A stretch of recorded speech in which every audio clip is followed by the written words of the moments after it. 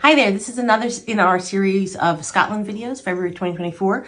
I, I have this habit of purchasing things at fancy famous gift shops, And I find something inexpensive, in order to find out if there's lead in them so that then we can approach the museum. And so far, the museums don't respond well when I find toxicants in the things that they're selling in the gift shop. Um, so I don't know if this is toxic. We bought this at the Monaco uh, museum, the museum for the race cars of the Prince of Monaco. It's a spoon rest. And let's just see here. It is, um, it says souvenir shop Palais de Monaco. It doesn't say Wait, where it's made. I didn't get a focus on that. Uh, there you go. Okay. Mm-hmm. So I bought this because I felt like a texture on the glazes and because this is a spoon rest where you would put your spoon after using it with tomato sauce. So it seemed like um, it's likely that might it might test positive for lead and not only might it test positive for lead, but if it did test positive for lead, that it would be lead that could be worn by the tomato sauce on your spoon. So it would be a potential concern. Then again, it's Monaco and people in Monaco are smart and maybe they know what they're doing. I don't know. Um, so the lead level on this is fairly low. It's it was safe by all standards, 50 parts per million. Cadmium level is a little bit above safe by all standards at 70 parts per million.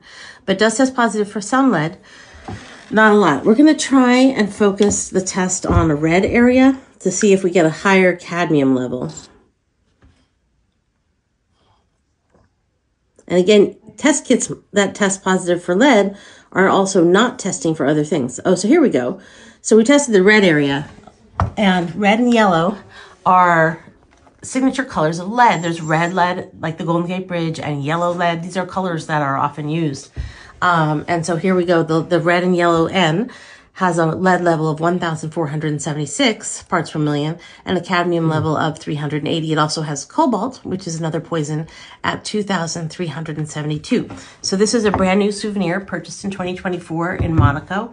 And and it's and and if you tested here with a home test mm-hmm. kit and found a negative, but didn't test here to find a negative, you wouldn't know for sure if it was negative. That's another drawback by doing this at home. People who are doing this at home don't understand that you would actually have to test the blue, the purple, the dark yellow, mm-hmm. the light yellow, the green, um, the orange and the mm-hmm. red, all the different colors would have to be tested separately. There's a pink in there, um, and to determine if there was any lead that might wear mm-hmm. off onto your spoon. You have something you want to yeah, say? I was I was just thinking about that because you know, especially in multicolored piece or patchwork stuff like this there's just so much that it's almost like not worth the effort. Right. And and again, that's why I have my website, leadsafemama.com, because you can look things up on my website and extrapolate. Now, what you would look up as souvenirs. Well, souvenirs aren't regulated because they're souvenirs, not really considered dishes, and they're made in other countries in most cases. So most souvenirs, especially ceramic souvenirs that might one might buy at a gift shop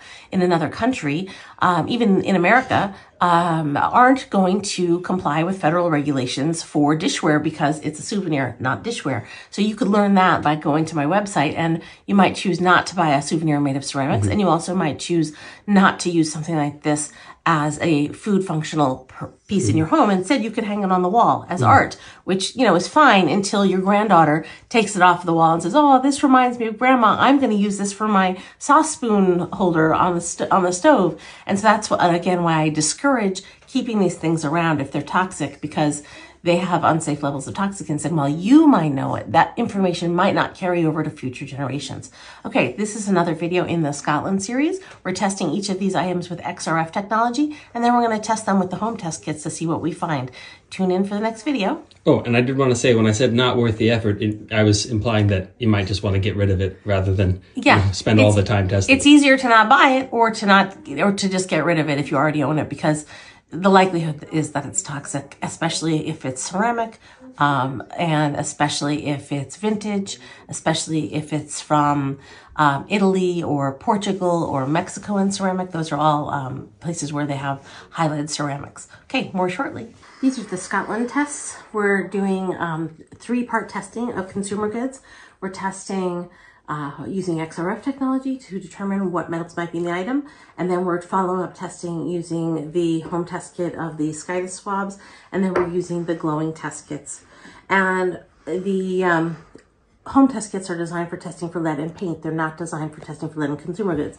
We have done three tests over here. This is testing some lead paint you can see it's pink. Um, this is not testing anything, and this is testing some zinc. It's very orange. So right now, we're going to test this from Monaco, and we just tested it using the XRF instrument, and we found a high level of lead on this yellow end, the yellow and red. It tested for more than 1,000, about 1,500 parts per million lead. So I'm demonstrating this so I can show you that even though these things have lead, they may not test positive using a home test kit. So we dipped it in vinegar and we're rubbing it on here. It had a little brown spot on it already. It, it's not, so we know this is high lead. We know this for sure. And has other toxicants as well. It has cadmium and cobalt.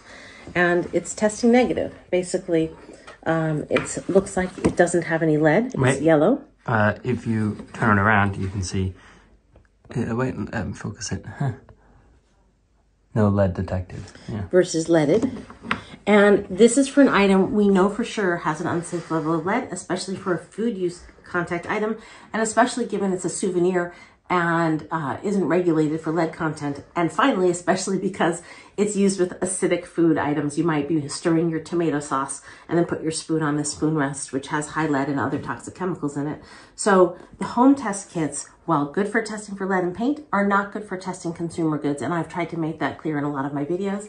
And I'm doing this series so you can, you know, really um, understand that profoundly. We're going to be testing some more things. This is the Scotland series. If you want to see more of these uh, videos, look up hashtag Lead Safe Mama Scotland and you'll find some of them.